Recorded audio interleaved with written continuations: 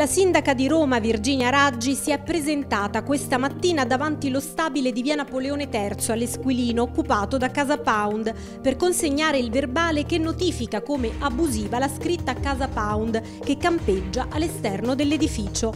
O la rimuovono entro dieci giorni oppure lo faremo noi, ha spiegato la sindaca, che dopo aver atteso alcuni minuti che qualcuno venisse a ritirare l'atto si è allontanata. Un delegato di Casa Pound è quindi sceso a ritirare l'atto della polizia di Roma Capitale. Il verbale impone la rimozione della scritta in stile marmoreo e con caratteri del ventennio e una sanzione amministrativa di circa 300 euro.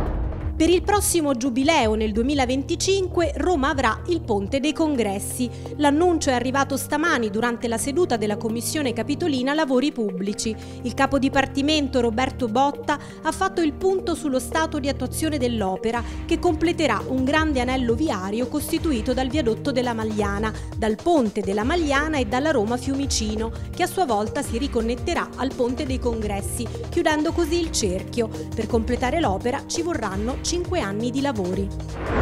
Nelle notti del 19 e del 22 luglio scorso un gruppo di ragazzi aveva danneggiato la scuola elementare di Passo Scuro a Fiumicino, imbrattando le pareti delle aule e rompendo i vetri di alcune finestre della palestra. La bravata però non è rimasta impunita. Dopo alcune indagini i carabinieri sono infatti riusciti a risalire all'identità di 11 minorenni di età compresa tra i 15 e i 17 anni, denunciandoli per il reato di danneggiamento aggravato.